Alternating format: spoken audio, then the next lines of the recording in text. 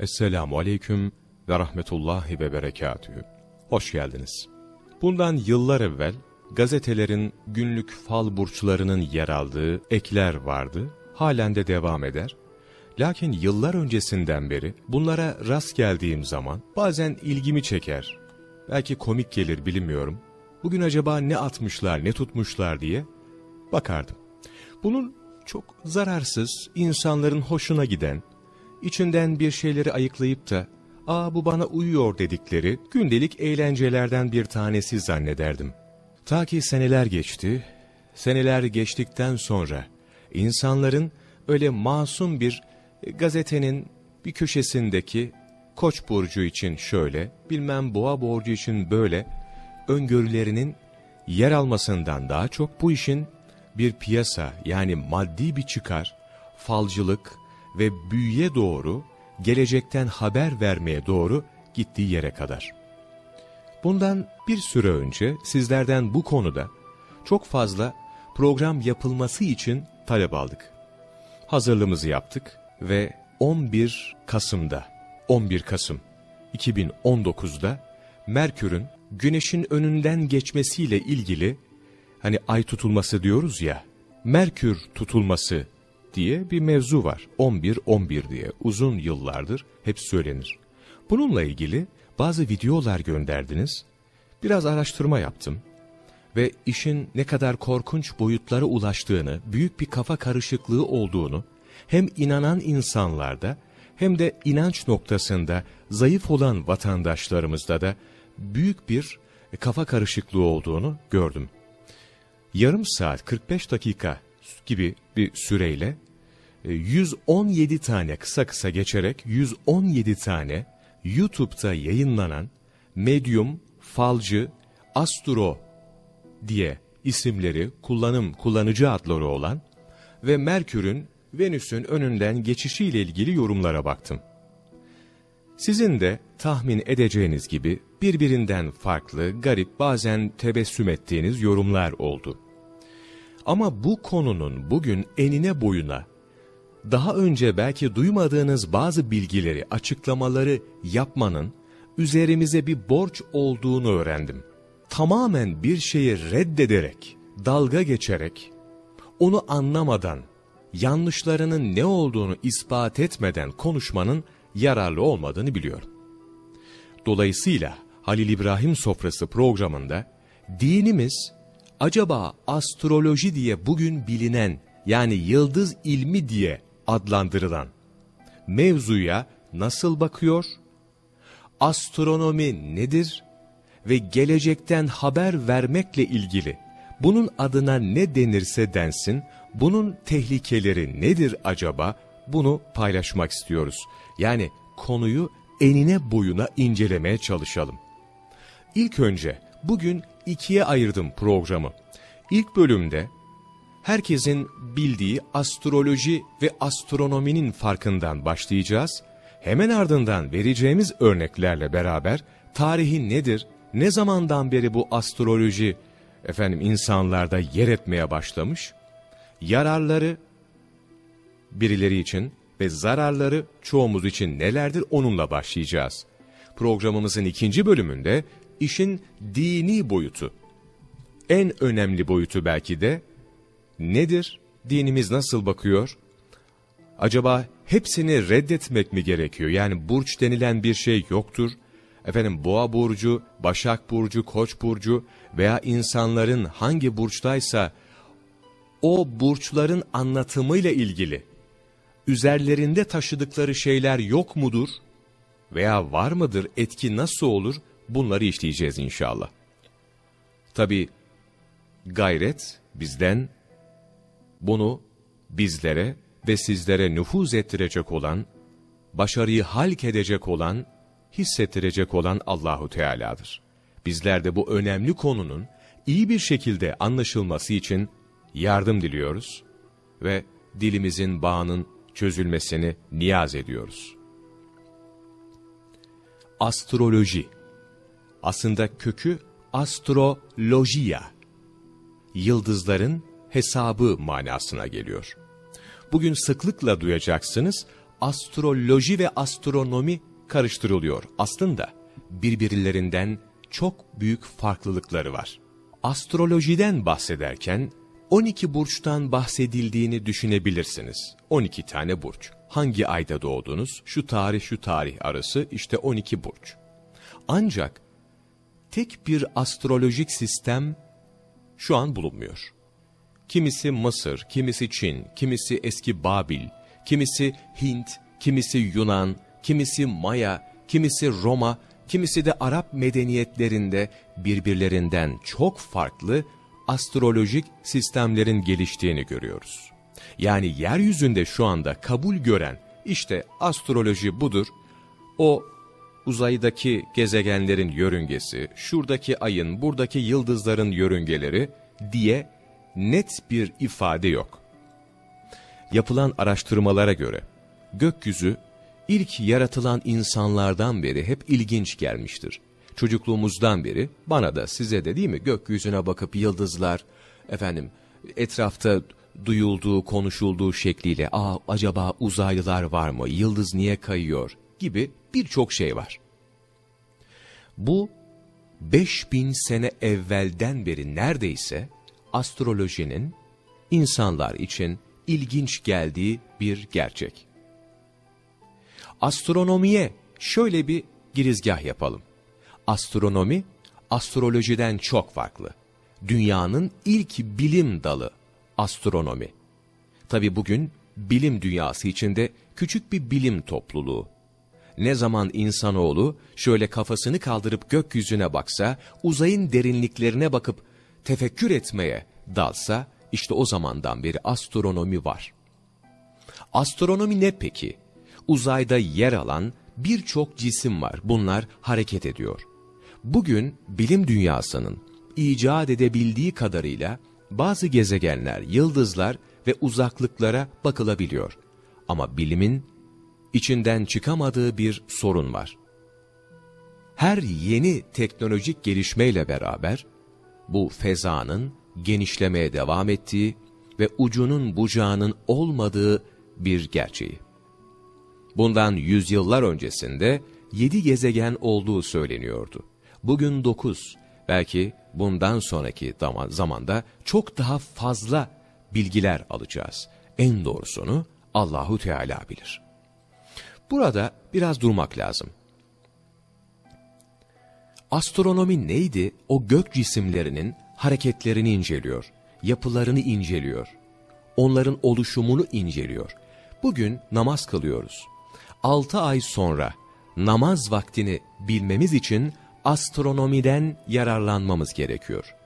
Bazı efendim görüntüleme sistemlerinin kullanıldığını biliyoruz. Yani bundan 6 sene sonra dünyanın ekseni nerede olacak? Ay 6 sene sonra tam da bugün şu saatlerde hangi yörüngede olacak bunu o şekilde belirleyebiliyoruz. Bu gelecekten haber vermek değil, bu bir bilimdir. Astronomi çok işe yarar. Aynı zamanda alt dallarından olan havanın yağmurlu mu olacağı, fırtınanın mı geleceği veya bir gök cisminin göktaşının dünyaya e, yaklaştığı gibi birçok yararlı bilgiyi de biz astronomiden alıyoruz. Ama astroloji, üzerine basa basa söylüyorum, bir bilim dalı değildir. Gökteki yıldızların, gezegenlerin hareketlerinden, onların açılarından yola çıkarak, insanoğlunun günlük yaşamıyla ilgili, hatta geleceği hakkında tahminlerde bulunmaktır. İşte tehlike burada başlıyor. İlk çağlarda ortaya çıktı bu. Çünkü o çağlarda herhangi bir anlayış yoktu. Bir kitap da inmemiş, bilim de yer almadığı için insanoğlu etrafında olan bitenleri açıklayamıyordu. İşte o zamanlar güneşe tapınmaları, aya tapınmaları, ağaçlara tapınmaları zaten biliyoruz. Ne zamanki insanlar Allah Azze ve Celle'nin tek ilah olduğunu, eşi benzerinin olmadığını öğrendiler, her şey değişti. Ama sadece inananlar için böyle. İnanmayanlar için ne oldu? Onlar için de bilimin yavaş yavaş bir şekli bir şeyleri açıklamasıyla beraber bu astrolojide bazı yanlışlara kaydı. Nedir o yanlışlar? Bunlara birazdan geçeceğiz ama bu iki ayrımı evvela cebimize koyalım. Astronomi gerekmekte, uzayda yer alan ayın hareketleri gel git, mesela gel git ne yapıyor? Suyun yüksekliğini ayarlıyor. Bazı zamanlarda bu insandaki sinir sistemini de etkileyebiliyor. Yani gezegenlerin insanlar üzerindeki etkilerinin olmadığını söylemek, kesinlikle yoktur demek yanlış. Ama burada bir püf noktası var. Lütfen bu konuyu iyi dinleyiniz. Bu mevzuyu anlatabilmem için resmi yani bilimsel bazı mevzuları da iyi bir şekilde dinlemenizi istiyorum. Şu, yıldızların bizi etkilediği veya etkileyebileceği Allahu Teala'nın izniyle olası. Evet doğru. Aydan da etkileniyoruz. Doğru. Dolunay zamanında insanlar daha sinirli oluyorlar. Hatta hacamat dönemleri belli zamanlardır. Ayın evrelerine göredir. Biliyoruz? Evet. Yıldızlar bizi etkileyemeyecek kadar uzakta. Bize en yakın yıldız yaklaşık 4 ışık yılı, 40 trilyon kilometre uzaklıkta. Yani bir insanın bugün oraya yolculuğu başlasa, bu yolculuğu bırakın ömrü boyunca sürdürebilmeyi, 500 bin, 100 bin yıl ömrü olsa da buraya yaklaşamayacak. Ama bugün düşünün, yıldızlardan, gezegenlerden, bırakın ayı Mars'ı hemen burnumuzun dibindeki Mars'ı, Uranüs'ün bilmem hangi açıyla dönmesiyle beraber insanlarda karar verme mekanizmasının değişeceği ve o sene başına bunun geleceğini söyleyen insanlar var şu anda. Ne acı ki bazı evlilik programlarında, televizyon ekranlarında kavgalar çıkıyor. Sen o burçtandın, bana yanlış söyledin. Peki ne oldu?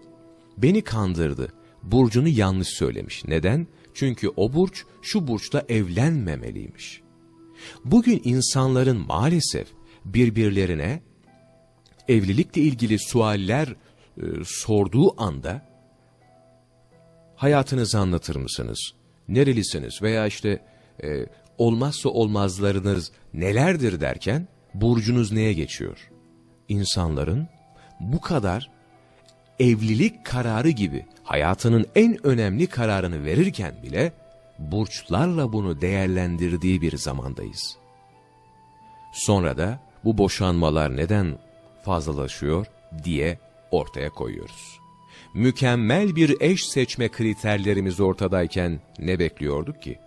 Bunun astrolojiyle ne alakası var? İşte toplum bu yönde de yanlış bir inançla etkilenebiliyor programın başında sizlerle paylaştığım masum bir şey ya öyle işte bugün başınıza bu gelecek çok güzel bir haber alacaksınız diye kestirip atacağımız bir tehlike değil astroloji. Yoksa işin esprisine vurduktan sonra hepimiz şunu söyleyebiliriz. Alın bir gazeteyi veya bu e, yorum yapan sözde astrologların sayfalarına girin. Koç burcusunuz. Bugün ne olacakmış, ne olacakmış, ne bitecekmiş diye dinlediğiniz zaman biri farklı bir şey söylüyor, biri farklı bir şey söylüyor. Çünkü ortada herhangi bir ispatlanmış veri yok. Ve dikkat edin lütfen 5000 yıldır bu devam ediyor. 5000 yıldır şu gezegenin yörüngesi, şu su, bu su bilmem nesi derken ortada hiç resmi veri yokken bugün sabırla dinleyenler için arada bazı bilimsel çalışmalar var.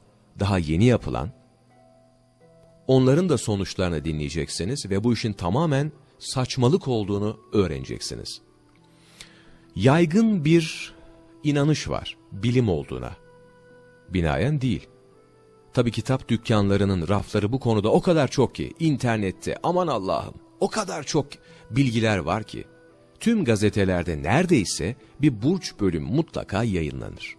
Tarot falları bakılır, 400 liraya 500 liraya saati bilmem ne fallar açılır, gelecekten haberler verilir.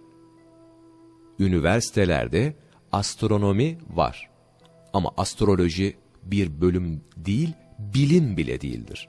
Tabi işin içinde para kazanmak olduğunda maalesef astrologların, gelecekten tahmin yapanların astronomlardan daha fazla kazanç ettiği, kazanç elde ettiği bir zamanda yaşıyoruz. 17. yüzyıla kadar Avrupa'da üniversitelerde okutulan bir bilim, astrologlar, astroloji daha doğrusu bunu iddia etmişti doğru. Peki 300-350 yıldır neredeyse astroloji neden üniversitelerden kaldırıldı? Bunun sorunun cevabı yok. Çünkü bilim gelişmeye devam etti. Ve astroloji ile ilgili birçok bilimsel deney ve araştırma yapıldı. Size bir bilgiden bahsetmek istiyorum. Mesela 1924 yılına kadar Avrupa'da bir bilgi varmış. Gezegenlerin birbirlerine olan mesafesi, yakınlığı vesaire. Bunun 1958 yılında bir yanlış hesaplamadan dolayı yerlerinin değiştirildiği biliniyor. Ona bakarsanız 300 yıl önceki bir bilimsel kaynakta yıldızların durumu ve yerleşimi farklıyken bir zaman farklı. Size şöyle bir bilgi vereyim konunun daha iyi anlaşılması için. Bugün mesela ben Koç burcuyum. Nisan ayında doğdum. Siz şu zaman doğdunuz. Küçük bir yanlış hesaplamadan dolayı benim burcum Oğlak, sizinki Yengeç olabilir. Ve bunun herhangi bir net, belli bir matematiksel hesabı yapılabilmiş değil. Yani ayın, çünkü diğer gezegenlerin birbirlerine yakınlığı, sıralanışı vesairesi büyük bir yanlışa dayanmış. İşte 1958 yılında bir araştırma var, zaman ikizleri diye. Bu konu çok önemli. 1958 unutmayın. Burçları aynı, hatta yükselen deniyor ya doğum saatiyle beraber hesaplanıyor. Hem burcu aynı hem de yükselenleri aynı olan 2000 bebek. Dikkat edin 2000 bebek. Doğum e, yani burçları aynı ve saatleri aynı. 2003 yılına kadar 1958'den 2003 yılına kadar ne meslek seçtiler, e, evliler mi, bekar mı, boşandılar mı, sinirliler mi, ne bileyim sosyal insanlar mı? 100 ayrı karakter özellikleri bakımından tek tek incelenmiş. 1958'de araştırma aynı zamanda doğmanın hiçbir benzerlik meydana getirmediğini kanıtlamış en sonunda. Yani hepsi farklı farklı. Bugün 12 tane burç önümüze konuyor. Keçi gibi inadım var, sen koç burcusun. Diyorsunuz ki mesela ikizler burcuyla ilgili e, bir şeyler anlatan kişiye, diyor karşınıza alıyor. Siz ne burcusunuz? Ben ikizlerim. Ha evet tam ikizlersin, şöylesin böylesin değil mi? Hayır diyorsunuz ben şaka yaptım, ben koç burcuydum. Onunla da ilgili bir şeyler söylüyor. Çünkü o kadar birbirine benzer ortadan konuşuluyor ki. Bu işi dinimiz nasıl bakıyor? Neden 12 burca bir şey demiyoruz? İnsanın e, davranışlarıyla, hal ve hareketleriyle, karakteriyle burçların bir öneminin olduğuna inanabiliriz, bu kapıyı açık bırakabiliriz. Neden diyoruz? Dini bilgiler bölümünde, ikinci bölümde aktaracağız. Bugün bizim reddettiğimiz falcılık, astrolojinin bu kısmı. Astronomi değil bakın, astroloji. Bugün iyi bir karar vere, veremeyebilirsiniz. Kararınızı yarın erteleyin. Neden? Merkür, Uranüs'ün tepesine çıkmış. Uranüs'te bundan baya bir gocunmuş ve üstünlük kurma çabasıyla beraber Mars'tan yardım istemiş. Oradaki ışık efendim buraya gelmiş. Bunu açıklayarak bugün bir karar almamanızı isteyen bir mecradayız. Günlük fal ne zaman çıkmış onu da size söyleyeyim. 1934 yılında Sunday Express gazetesi İngiltere'de onun bir yayın yönetmeni var. O sıralarda efendim e, 1934 senesinde ilk defa efendim bir yazı yazılıyor. 1936'da 12 burçlu günlük fal icat edilmiş. O günden bugüne kadar da magazinde şurada burada 1936'dan beri devam ediyor. Yani 100 yıl öncesine bile dayanmıyor o günlük falları sunan gazetelerin sayfaları. 100 yıl öncesinde bile değil. Tamamen magazin, geyik, böyle muhabbetler. Acı bir gerçek biliyorum. Ama sadece gazetelerin satması için yapılan ticari icattan ibaret bunlar. Ve maalesef bugün çok revaçta. Astroloji, bir insanın doğumu sırasında gezegenlerin yer çekimi kuvvetinden yararlanıyor. Yani siz ne zaman doğdunuz? Örnek veriyorum ben Nisan ayında doğdum. Nisan ayının şu gününün şu saatinde doğarken gezegenlerin sıralanışı ve yer çekimi kuvveti ile benim karakterimin, kişiliğimin oluştuğu söyleniyor. Şimdi bunu hemen çürütelim sizlerle beraber. Bu yer çekiminin etkileyebileceği fiziksel bir mekanizmanın açıklanmasını bırakın, böyle bir mekanizmadan bahsedilmemiş bile. 2. Doğumun gerçekleşmesine yardım eden kişinin çekim gücü, gezegenden veya gezegenlerin sıralanışından daha da büyüktür. Bir örnek vereyim. Sizin hemen yanı başınızdaki bir insanın, bir çatalın, bıçağın, mıknatısın, bakın yanı başınızda, yarım metre yok aranızda. Onunla aydan gelecek olan enerjinin veya çekim gücünün büyük oranda farklı olacağını biliyoruz. Bunu bir örnekle taçlandıralım. Deniyor ya, bir bebek dünyaya gelirken çekim gücü nasılsa gezegenlerin karakteri kişiliği öyle şekillenecek. Çok affedersiniz, özür dileyerek söylüyorum. Bir ebenin, o teyzemizin, çocuğu annesinden ayıran, hayata çıkaran değil mi, vücudundan ayıran o ebenin, o galaksilerden, gezegenlerden bilmem hangi burçtan daha fazla etki edebileceğini bilmemiz gerekiyor. O ebenin, o hastanedeki çalışanların enerjileri veya cep telefonundaki enerji çok daha zararlı olabilir. Mevzu inşallah anlaşılmıştır. Çok ağır bir konu olduğu için böyle hafif sizlerle paylaşmak istiyorum.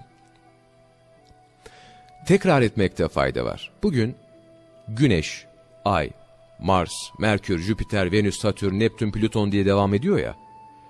Bundan yüzyıllar öncesinde yedi tane gezegenin var olduğuna inanılıyordu. O zamanlar Güneş ve uydu olduğu halde Ay da bu listede yer alıyordu. Ama bugün Kopernik zamanında bu daha iyi anlaşıldı gezegenlerin tanımı ve bugün yaptığımız gözlemlerle sadece galaksimizde bile milyarlarca gezegenin olduğunu görebiliyoruz. Ve işin ilginç yanı bilim dünyası diyor ki bizim gözlemleyebildiğimiz sadece bu kadar. Göremediğimiz, bizim teleskoplarımızın yetmediği daha neler var neler. Her gün yeni şeyler görüyoruz diyor, deniyor. Arkadaşlar, çok açık nedenler var inanmamak için. Hemen onlardan bazılarıyla başlayayım. Bundan yüzyıllar öncesinde bu dünya hakkında veya kainat hakkında yeterli bilgilere sahip olmayanların zamanındaki inançlara dayanan bir sistem astroloji. Farklı astrologlara danıştığınızda veya farklı yayınlara baktığınızda birçok tutarsızlıklar göreceksiniz. Kimisi Koç burcu için güzel bir ay derken ötekisi kesinlikle haber kötü haberler alacağınız bir zaman. Bir başkasına bakıyorsunuz.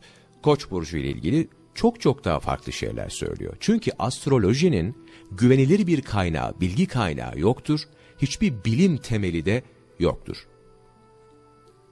Balon kelimeler denilen kelimeler kullanılır. Şimdi,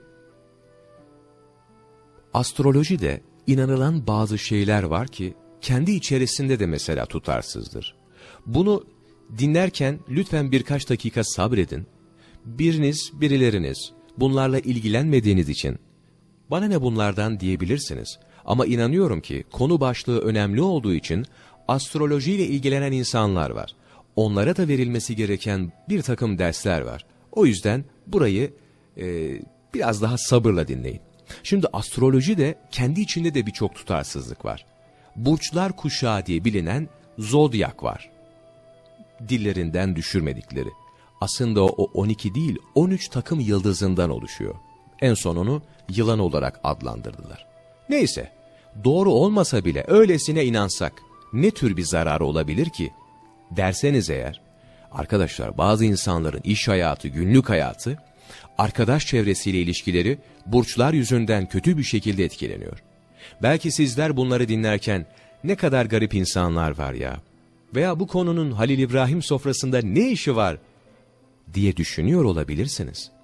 Ama o kadar ciddi bir boyutta ki o yorumları görseniz insanların bu konudaki saçmalıkları dinlerken kafalarının nasıl karıştığını bilseniz boşanma mı istiyorsunuz? İş yerinde tartışmalar mı istiyorsunuz? Hatta işi biraz daha abartılı boyuta getirip insanlara burçlarına göre değer verip vermemeye mi istersiniz? Çok garip bir mecra bu. İnsanlar dost ararken burçlarıyla uyum sağlayacak kişiler arıyorlar.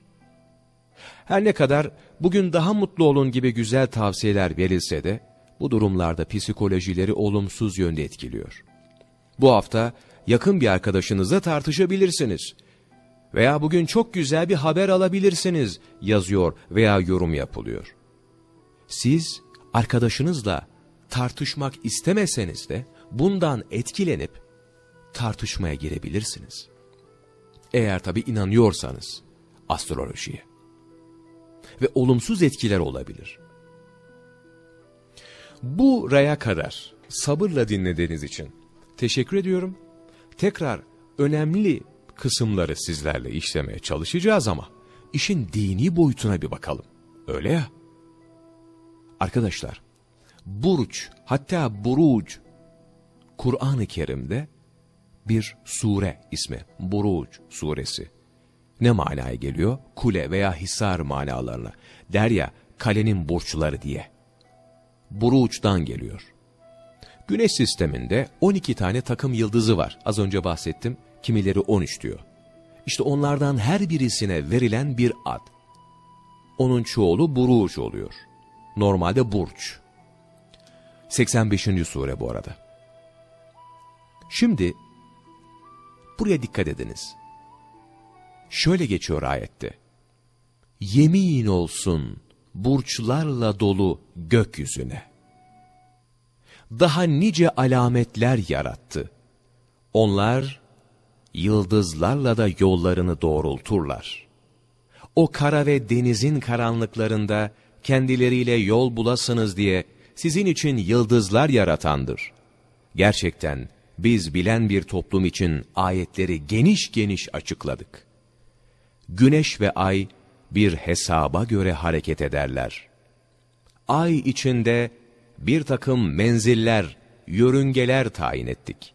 Nihayet o eğri hurma dalı gibi hilal olur da geri döner. Kur'an-ı Kerim'den cümlelerde bunlar. Kur'an'a bağlı olarak ayı, güneşi, yıldızları, şu kainatı tefekkür edebiliyoruz. Ama Kur'an-ı Kerim hiçbir zaman astroloji malzemelerini kullanarak, burçlara dayanarak, hele hele gelecekle ilgili veya gaybi yorumlara yer vermez ve bu yasaklanır. Peki dinimizde burçlar var mı? Evet var. Astronomi zaten bu konuyla ilgilenebiliyor. İslam, insanların yararına olan, şeriatın sınırlarının aşılmadığı hiçbir konuda yasaklama getirmemiş. Araştırmalar ilerletilebilir ve bu yıldızlarla ilgili birçok bilinmeyen ortaya çıkarılabilir ki zamanında çıkarıldı, hala da araştırmalar yapılıyor. Teleskoplar, birçok uzay inceleme araçları var. Şu anda bu yayını yapıyor olmamızın en önemli sebebi, nedeni internet. Ve belli bir katmandan sonra, dünyadan çıktıktan sonra uzay boşluğunda yer alan uydulardan biz şu anda birbirimize iletişim kurabiliyoruz. Bunlar hep uzayla ilgili şeyler. Bu işlerde hiçbir sıkıntı yok. Bu pozitif bilimlerden bir tanesi.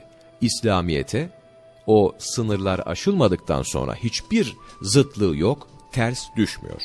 Peki nerede sıkıntı başlıyor? Gelecekten haber vermekle ilgili. Bu bir kendisine büyücü, medyum diyen kişi de olsa, bir kağıda bakarak geleceğinizle alakalı şunlar olacak da dense, suya bakarak da olsa, hiçbir yere bakmadan da yazılan bir yerden siz okusanız aynıdır. Çünkü geleceği sadece Allahu Teala bilir. Konuyla astroloji denilen gök bilgilerini fal alanına çekerek kullanılan fal bilimi de denilen astroloji ilgileniyor bu konuyla. Ve güzel dinimizin farklı yorumlanmasına vesile oluyor. Arkadaşlar, kişinin sahip olduğu karakteri, terbiye eden, onu var eden her şeyin Rabbi Allahu Teala'dır. Bugün ne diyorlar biliyor musunuz?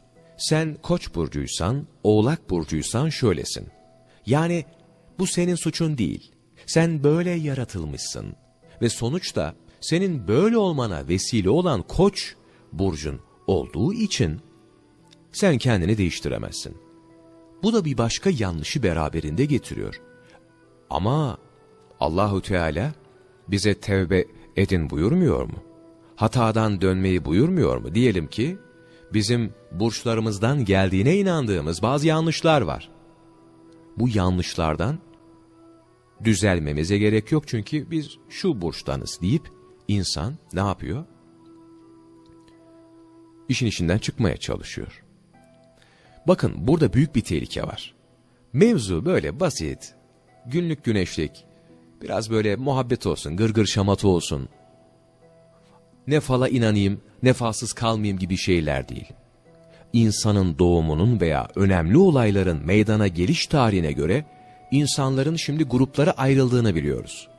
İnsanların karakter yapılarını doğum tarihlerine göre çözmeye çalışan insanlardan bahsediyoruz. Ve buna müneccimlik deniyor. Çünkü yıldız falcılığının adı budur. Halbuki kul, karakteri nasıl olursa olsun terbiye edilmeye hazır bir potansiyel taşır.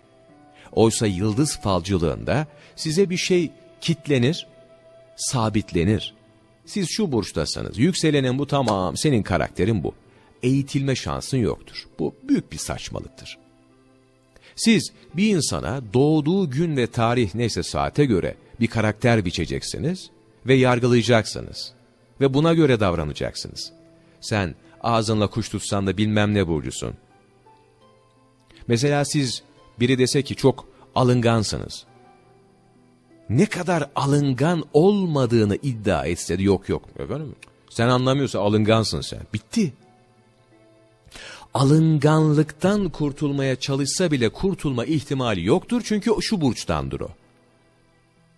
Oysa alınganlık hepimizde vardır. Yengeç burcunda da vardır, koçta da vardır. Bu nasıl bir saçmalıktır? İnsan bazen alınganlaşır. Duruma göre, duygu durumuna göre değişir. Bugün örnek olarak söylüyorum, yemek e, menüsünde en çok sevdiğiniz köfte patatestir. Aradan bir ay geçer. Bir arkadaşınız sizi davet eder yemeğe. Al sana bakalım köfte patates. E niye isteksiz yiyorsun beğenmiyor musun? Bugün pek yemek istemedim dersiniz. Halbuki aynı köfte patatestir o. İnsanın bazen yemek alışkanlığı bile değişir. Bazen alınganlaşır insanlar. Örnek olarak hanım kardeşlerimizin muayyen zamanları, erkeklerin de belli zamanları var. Yani eğer birisinde fazla miktarda bir alınganlık varsa, bu durum doğum tarihiyle saatiyle alakalı olmadığı gibi ne olumlu ne de olumsuz yorum yapılması için bir bilgi değildir. Arkadaşlar, neden böyle oluyor biliyor musunuz? İnsan yaratıldığı günden beri şu zamana kadar 2019'un 12 Kasım'ına kadar kendini tanıma çabası içerisinde. Hep gizemli şeyler bize hoş gelmiş. Böyle uzaktan, zaman makinasından, ileriden gelen veya geldiği söylenen haberler, bununla ilgili yapımlar bizi hep efendim cezbetmiştir, ilgimizi çekmiştir. Bazı insanlar doğduğunuz günün ve saatin sizin hayatınızın kısa bir özetini, karakter özelliklerini verdiğini iddia ederler ama iyi para kazanırlar. 200 TL'den başlayıp devam eden, hatta Bununla başlayıp da daha sonra gelecekten haber vermekle kalmayıp araya cinlerin kullanıldığı büyülerle döşenen daha büyük ortamlara merhaba dersiniz. Allah korusun. Oğlak burcunda olanların keçi gibi inatçı olduğunu, yengeç burcundakilerin yürüyüşünün bile yengeç gibi yamuk yumuk olduğunu söylerler, iddia ederler. Ve bunları anlatırken ben çok ciddi bir şekilde anlatıyorum, gülün diye söylemiyorum. Bunlar astroloji kitaplarında var. Koçsa budur abi, balıksa budur, tamam yengeçse budur. Resmen bu yazılmış. Yan yan yürür yengeç burçlar. Aa bir dakika ya. O doğru diyor falan. Bizde böyle bir cehalet de var ama. İbrahim abi sen böyle konuşuyorsun ama yani tuttu da yani bende falan. Arkadaşlar çöple samanı birbirinden ayıralım. Elbette etki olabilir. Bakın elbette burçların ve onların efendim hesabının alındığı birçok kaide de var. Program başında aktardım. Aydan etkileniyor muyuz? Etkileniyoruz. Evet insanların ruhlarının daha doğrusu içinin sıkıldığı zaman oluyor mu? Oluyor. Dünyada en çok efendim cinayet vakası, cinnet geçirme vakaları belli zamanlarda ayın belli hareketleri zamanına rastlıyor mu? Evet. Bak bunda bir sıkıntı yok. Bir öngörü olabilir. Lakin gelecekten haber verilmez. Bu sınırı sadece bilelim. Tamam. Bu sınır çok önemli. Yani birine gidip de para verip veya parasız diyelim ki reklamı için yapıyor. Para almıyor ki diyoruz. Gelecekten haberi vereni dinlemek bile gelecekten haber verdiğini iddia edenle aynı günahtır. O yüzden bundan uzak kalmak gerekiyor. Fal bakmakta, kahve falı bakmakta aynı şeydir. Bazı taşları toplayıp bir tabağın içine atıp da bakmakta aynı şeydir. Cinlerin davet edilip de ileriki zamanlarla alakalı, gaybda ilgili bir şeyleri öğrenmeyi efendim istemekte aynı şeydir. Bunun ismi tarot falı da olsa, kahve falı da olsa, yıldızlar da olsa, geleceğin Allahu Teala tarafından sadece bilindiği gerçeğini reddeden, buna muhalefet eden zihniyet aynıdır. Kardeşlerim, insanları yıldız konumlarına göre tahlil etmek tamam, bunu duyduk. Bu yıldızların oluşturduğu ve sadece bizim açımızdan bakıldığı zaman bazı hayvan ve benzeri şekillere benzetilen takım yıldızların, insanlara da bu benzedikleri hayvanın karakterini vermeleri, insanı gerçekten delirtiyor. Eğer yıldızlar bizi ışınlarıyla etkiliyorlarsa, hepimizde en yakın yıldız olan güneşin verdiği o özelliklerin bulunması gerekmiyor mu? Çünkü eğer güneşle dünya arasındaki uzaklığı gözünüzle şu anda okuduğunuz herhangi bir kitap var diyelim, izlediğiniz televizyon var, karşınızda ne varsa bakın.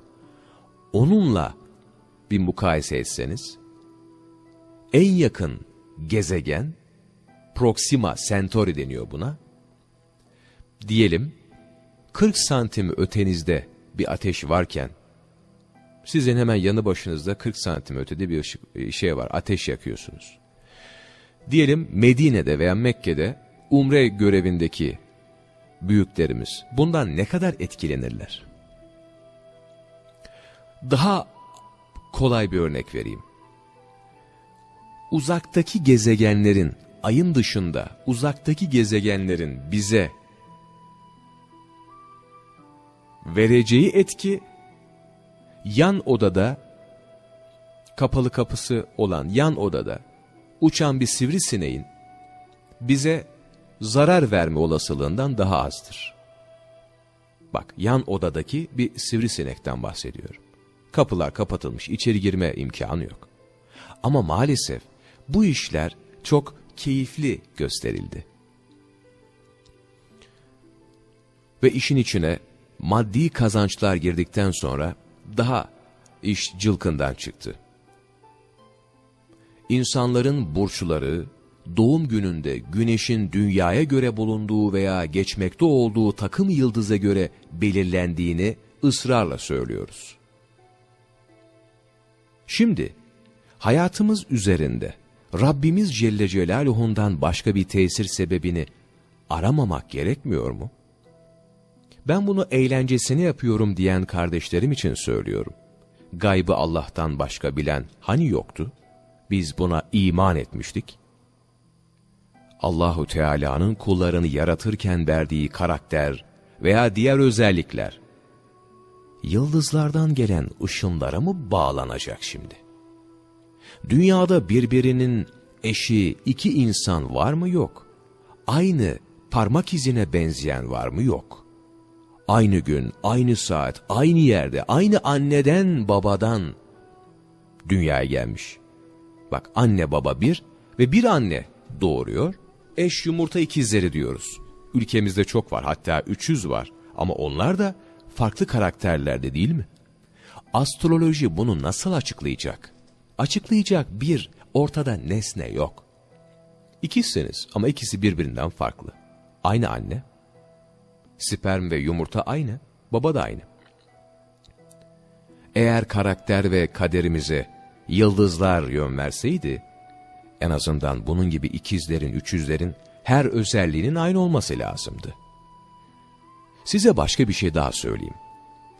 Koç burcunda acaba hangi ünlüler var diye koca koca yazılar yazılır. Ben de bundan yıllar öncesinde merak etmiştim. Dedim ki aa bu kişi ne güzel ya koç burcunda falan.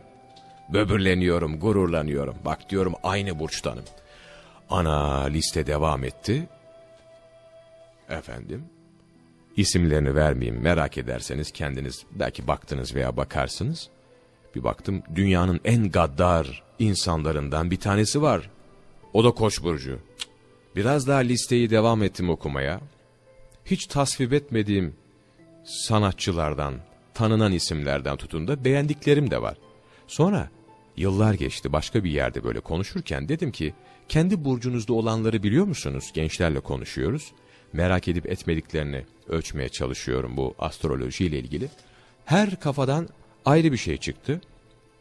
Yani balık burcunun da bakıyorsunuz toplumun sevilen kişileri, ünlüleri ama sevilmeyen insanlar da var.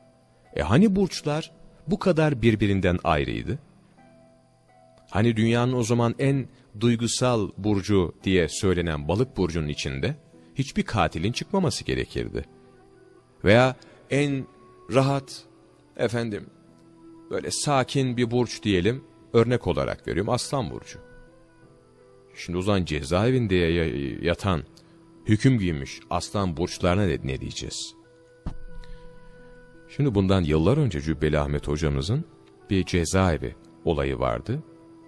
Daha sonra haksız yere yattığı ortaya çıktı biliyorsunuz. Annecağızı da vefat etmişti Allah Celle Celaluhu rahmet buyursun. Rabia annemize amin. Orada bir şey söyledi cezaevindeyken yanında gazeteleri okuyanlar oluyor. Bir tanesi demiş ya hocam hangi burçtansın? Ya ne oldu demiş ben öyle burçlara falan şey yapmıyorum. Sonra diyor yanına gittim diyor Cübbeli hocamız. Bak hocam demiş benim için yazdıkları burca bak demiş. Adam cezaevinde cezaevindeki kişinin burcu şöyle. Bugün çok güzel bir haber alacaksınız. Bugünü değerlendirin. Çıkın dışarı çiçekleri koklayın bilmem gökyüzüne bakın. Ya adam cezaevinde. Şimdi mevzu aslında bu kadar net.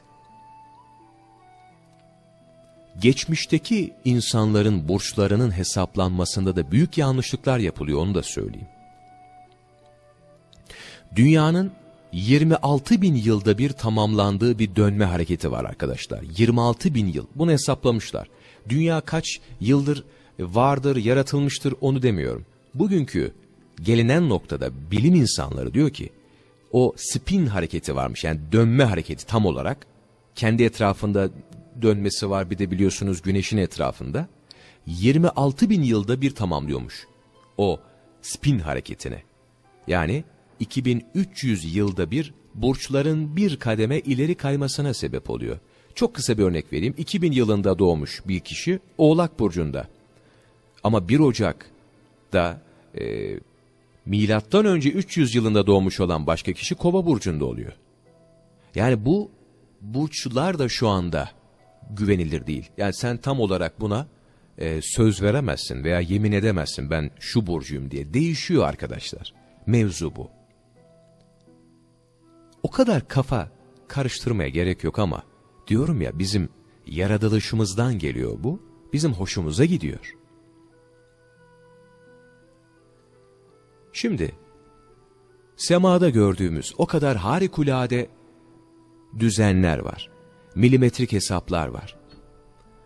Allahu Teala bizi en bize uygun ortamda, dünyada yarattı. Mars'taki çalışmalara bakıyorsunuz astronominin e, bu çalışmalarında Mars'ta şu yaşamın mümkün olmadığı söyleniyor. Ha ne yapılması gerekiyor? Oradaki soğukluk o kadar fazla ki ondan dolayı işte orada şu olması lazım. Oksijen yok hadi onu bir şekilde oksijen dönüştürücüler kullandık. Hayal e, şu anda safında yer alıyor. Mesela en yakın tabirle deniyor ki bundan 150 yıl sonra Mars'a ilk koloni veya orada e, yaşayacak insanlar gönderilebilir deniyor. Burnumuzun dibindeki Mars'tan bahsediyorum. Yani burnumuzun dibi derken çok uzak da en yakınımız. E peki ben bırak sen Mars'taki 150 yıl sonra hadi bakalım acaba orada birkaç kişi yaşar mı falanı filanı. Yüz binlerce yıl ışık hızı biliyorsunuz çok farklı. İleride olan bir gezegen bana etki edecek de efendim sola doğru döndü de o açı şunla birleşti de falan. Bunlara gerek var mı? Allahu Teala bunu niçin yaratmış bunları? Bizim tefekkür etmemiz için yaratmış. Bundan 2000-3000 yıl önceki cehalet toplumunun yaptığı şeyler gibi. Acaba gökyüzündeki şu bizim ilahımız mı yok şuna mı tapalım diye düşünecek halimiz yok. Etkiyi var eden Allahu Teala'dır. Hastaysak eğer bize şifa verecek olan da Allahu Teala'dır arkadaşlar. Bugün NASA var. Rusya'da bilmem hangi şey var. Fransızlar yeni yeni çıkmaya başlıyorlar. Evet bunlar çok güzel ama bunlar astronomi. Bir göktaşının, bir yıldızın patlamasının veya e, madenlerin birçok şeyin belki petrol yarın öbür gün bitecek. Başka bir gezegenden veya başka bir yıldızdan bir enerji e, üretilebilecek bir maden keşfedilecek. Bakın bilmiyoruz biz bunları. Bunlar muallakta şu anda. Ama biz bunca ibretlik hadiseyi bir kenara bırakacağız.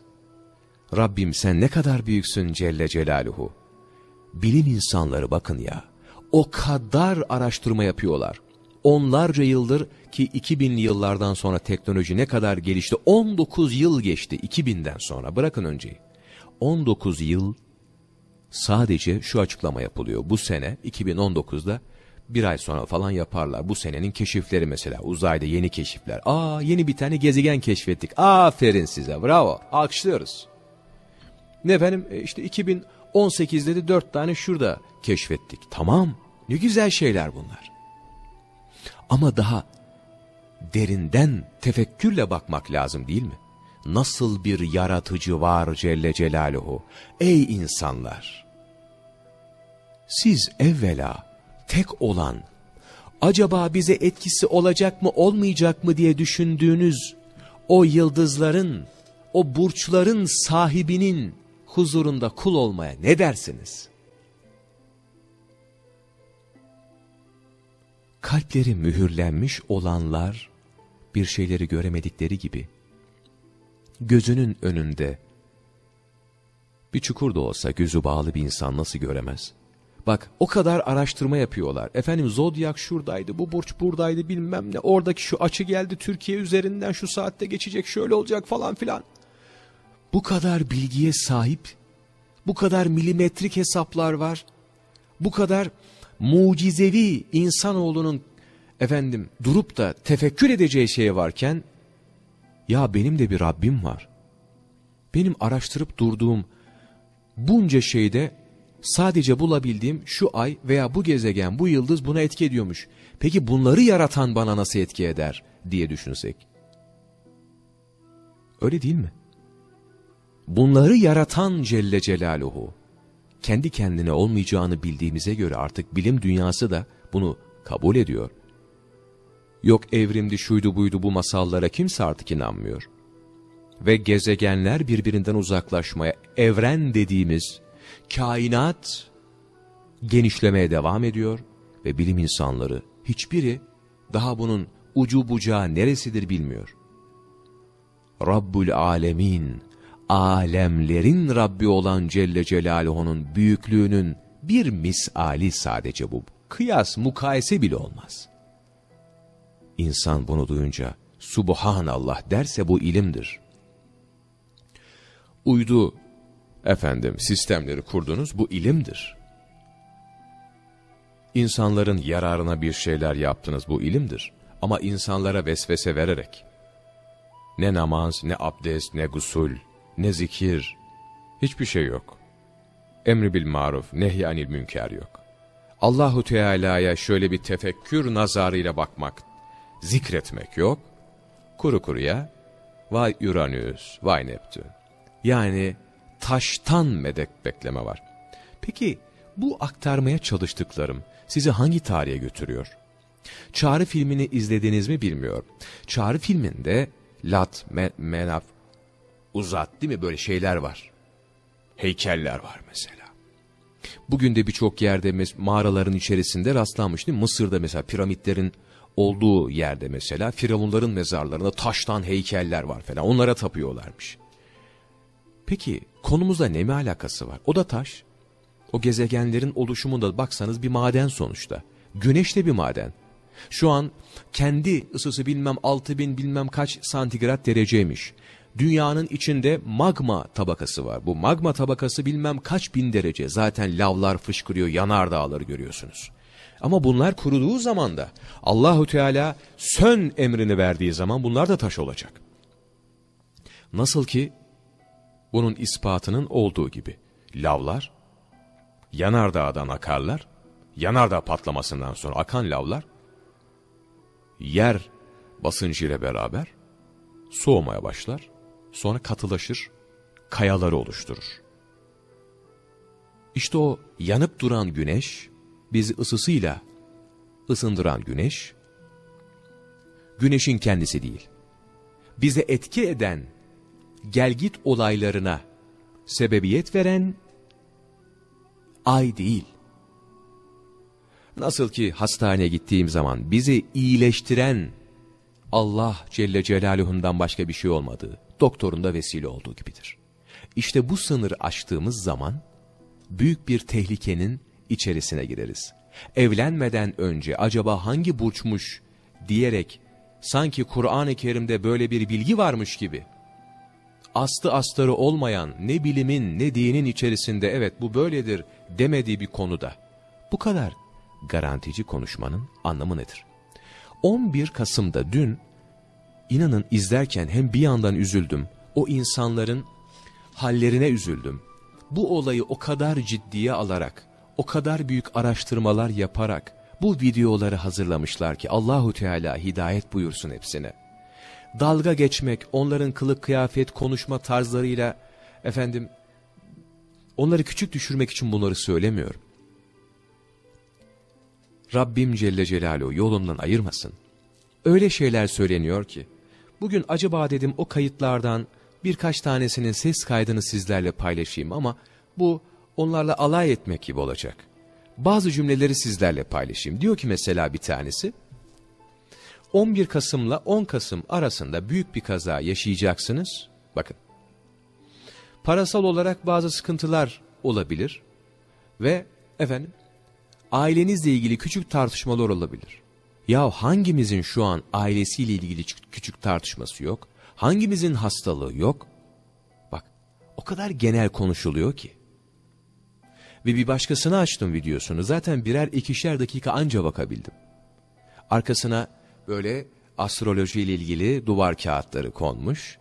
Mumlar yakılmış etrafa. Hint falıymış bir tanesi. Ötekisi Bangladeş falıymış. Ötekisi Çin falıymış arkadaşlar. Bunlar da yeni çıkmış. Tarot ama tek bir tarot değil. Bilmem neli tarot, şunlu tarot, bunlu tarot falları. Babil papürüsüne bandırılan bilmem ne kağıdından yapılmış. Bir tanesi Maya takvimine göre yıldızları hesaplamış. Yani bir insanda can sıkkınlığı olduğu zaman, kendisi boşta olduğu zaman, bir derdi meşgalesi olmadığı zaman, nasıl bir insan ya veya bir çocuk düşünün, can sıkıntısından garip garip hareketler yapar ya, bunalıma girer.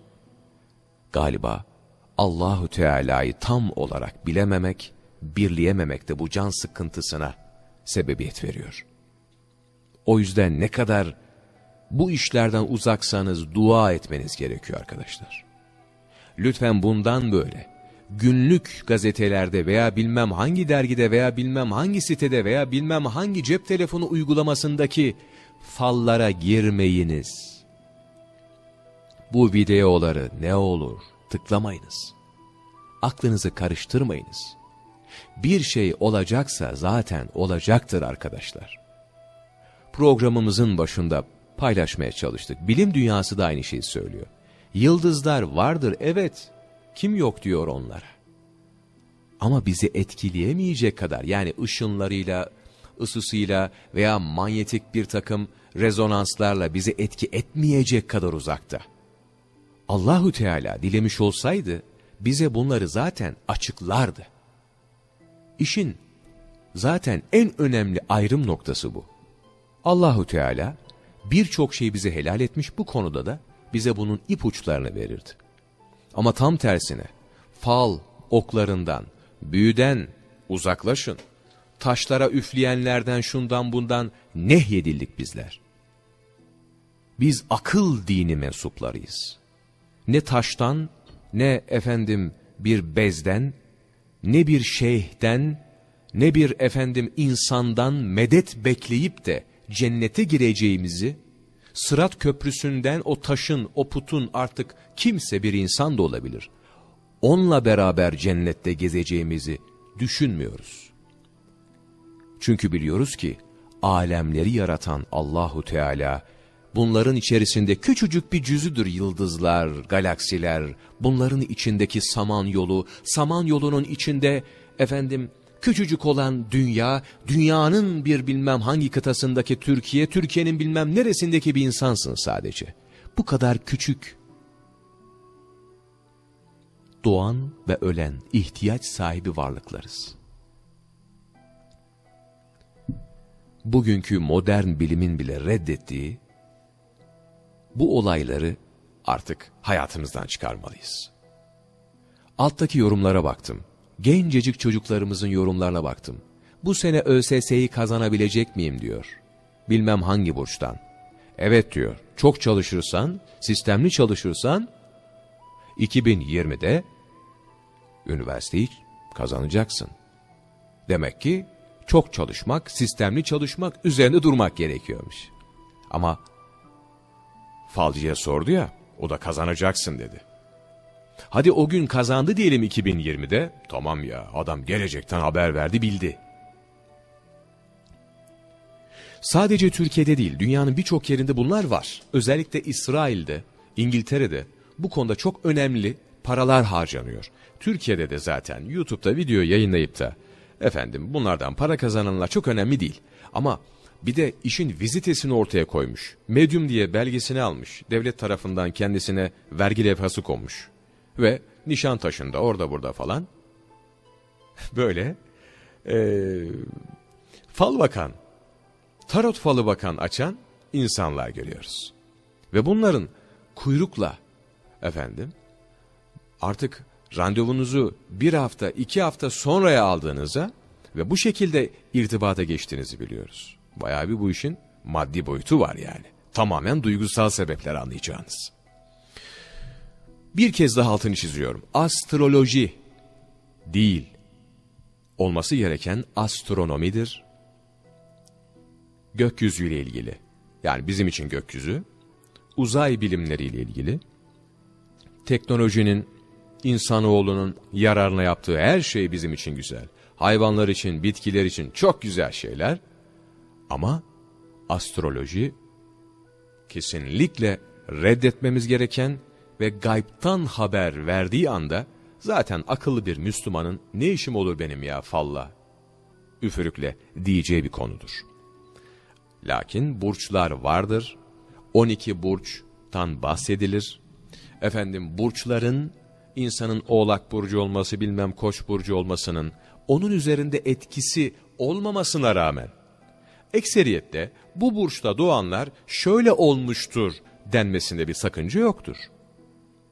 Bir önermede bulunabilir ama ne zamanki iş gelecek işine dönüyor bunda büyük tehlike vardır. Şu anda maalesef e, astronomi mesela astrofizikçi dediğimiz insanlar Türkiye'de çok az. Ama astrologlar çok çünkü beleş bir eğitime gerek yok. Hindistan'dan Feng Shui bilmem ne e, yerinden edindiğiniz bilgiler, oradan aldığınız ışıklar, Babil'den, Mısır'dan, Maya takvimlerinden, internetten gördüğünüz şeylerle siz de bir falcı olabiliyorsunuz yani. Bir de şöyle bir e, konuşma tarzınızı, arka tarafa şöyle bir duvar kağıdını, güzel bir ışıklandırmayı, projeksiyonu falan yaparsanız, güzel bir prodüksiyonla, çok da güzel tıklanırsınız yani. Bilmem kaç bin tane aboneniz olur, YouTube'dan bilmem ne kadar gelir kazanırsınız. Ama her şey bu dünyada olup biter. Şimdi, şu ana kadar aktardığımız ve süremiz yetmeyip aktaramadıklarımızı göz önüne alacak olursak, toparlayalım. Belirsiz olan şeyleri yorumlamak ve bunu duymak insanın hoşuna gidiyor. Öngörülerdir bunlar. Evren hakkında yeterli bilgilere sahip olmayanların zamanındaki inançlardan kaynaklanan astroloji bir bilim olmadığı gibi tamamen gereksiz ve birbiriyle çelişkili olan herhangi bir metodu olmayan kişiden kişiye değişen bir saçmalıktır. İnsanı yaratan Allah Celle Celaluhu ona bazı güçler vermiştir. Ama en önemli verdiği akıldır. İnsanın aklını kullanması gerekmektedir. İbret olarak yarattıklarında elbette alınması gereken ibretler vardır. Lakin gelecekten haber vermek bunun dışındadır arkadaşlar. Tesir Rabbimden gelecek bana. Benim kaderime şu yıldız bilmem ne falan yön veremez. Oldu ki bir zarar gelecek bana. Hastalanacağım mesela. Açtınız bir gün, nefsiniz hakim olamadınız, fal okuyorsunuz. Aman kendinize dikkat edin, bilmem ne burçları. E bu hafta hasta olabilirsin. Vay be. O hafta sen eve kendini kapatsan da olacaksa olacak. Ve şöyle düşün senin gibi bir milyar tane diyelim veya 500 milyon diyelim fazla olmasın aynı burçtan kişi var. Bu herkesi bağlamıyor ki sonuçta. Saçma olduğunu hepimiz biliyoruz bunun. Allahu Teala haddi aşmayanlardan eylesin cümlemizi. Ve dua ediyorum. Kardeşlerime, aklı karışmış ve bu tür böyle gizemli şeyler, cin, büyüdür, efendim şu galaksideki ışıktır, yıldızdır, parapsikolojidir, bilmem nedir, yogadır, bu tür şeylere e, biraz daha yoğunlaşmış, kafası karışmış kardeşlerimize de Allahu Teala'dan hidayet niyaz ediyorum. Ve bir duamız daha var. Ya Rabbi bizlere vermiş olduğun nimetleri hamdü sena olsun. Allah'ım ne olur bizleri yolundan ayırma. Bize vermiş olduğun şu hidayeti, imanı, şu aklı bizden alma. Doğru yoldan bizleri ayırma. Kafası karışmış olan kardeşlerimiz, gizemin içerisinde kendini kaybeden kardeşlerimize, evvela seni bilmelerini, seni merak etmelerini, sana uymalarını, itaat etmelerini Celle Celaluhu nasip eyle. Amin. En önemlisi budur. Her şeyin hesabını vereceğimiz gibi, sana verdiğim o zamanda ne yaptın ey kulumun cevabını vermek gerekiyor. Böyle bir sorgu sual çok yakın bir zamanda bize başlayacak. Hepimiz kendimizi hazırlayalım. Astronomiye evet, astrolojinin her türlüsüne, bütün fallara hepsi dahil hayır diyoruz. En emin olana emanetsiniz.''